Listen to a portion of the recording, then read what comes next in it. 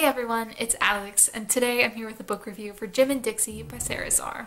This is a young adult contemporary novel about two sisters who live in a bad home situation. They're pretty much in a very neglectful home situation, I think is the best way to put it. Their father abandoned them years and years before, and their mother doesn't provide very well, and there's often not food in the house. They have to work to get their own things, and they're about, I think, 15 and 17 each. They've grown apart over the years, but in this book, they manage to find a bag of money together shortly after their father comes back into their lives, and they go on the run together. I gave this book three stars, and I thought about not reviewing it because a lot of my negative feelings towards this book are just like, I wasn't a fan of the overall storyline. But I did think it was really well done, and I did want to review it because I do think this is Sara Zarr is kind of an underrated author in general, but I haven't heard anyone talk about this book in particular, and I do think it's a really wonderful book.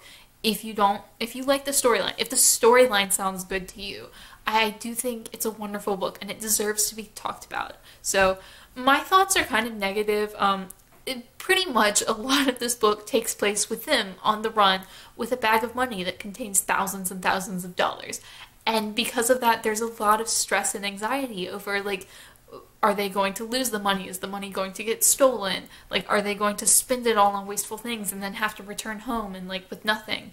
And that really like stoked my anxiety a lot. It rubbed my anxiety the wrong way and it made me it made this reading this book a really unpleasant experience because I was so stressed and not in like the fun stressed way, but just like this situation made me actively uncomfortable and it made me not want to read the book.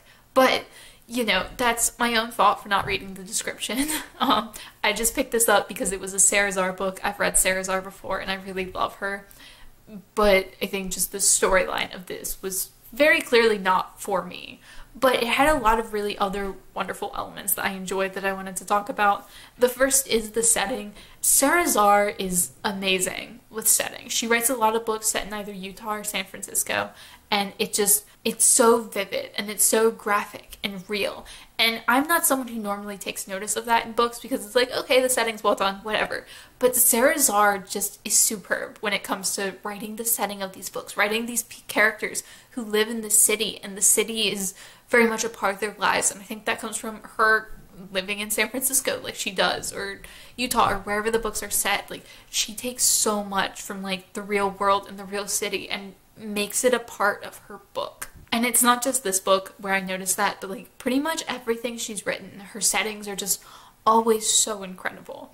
And another thing I really liked was the characters. I think Gem, who was the narrator, was a really wonderful character. Like she's quiet and she's different and she knows she's different and she doesn't necessarily approach situations the way an average person would. She's very like on the outside of life. And I think a lot of that comes from her home situation. But the relationship she had with her counselor, her counselor at school, was so wonderfully done and so wonderfully crafted. And I think there were a lot of interesting dynamics at play there, like with her downplaying her home situation and her guidance counselor not helping the way he should. And it wasn't a negative relationship, it was a very positive relationship throughout the book. But I felt the ending of that relationship, or not not the end not when the relationship ended, but at the resolution of the book, at the climax, her relationship with her guidance counselor and where that went was incredibly complex and interesting and just like such a well done relationship and I enjoyed that. I also think the relationship between the two sisters was such an interesting dynamic because you have this older sister who grew up protecting and raising the younger one, and now that they're both not adults, they're both teenagers, the way they both reflect on their situation and the way they both deal with their situation is incredibly different. And I think that was also a really well done aspect. It was just, there was so much of this book that was so good and so beautifully done and just like so well crafted that outside of the very uncomfortable premise of them having a bunch of money and going around, I, I really, really loved it. And I think despite this clearly not being the book for me, I think it was such a worthwhile read. And I'm really glad that I picked it up because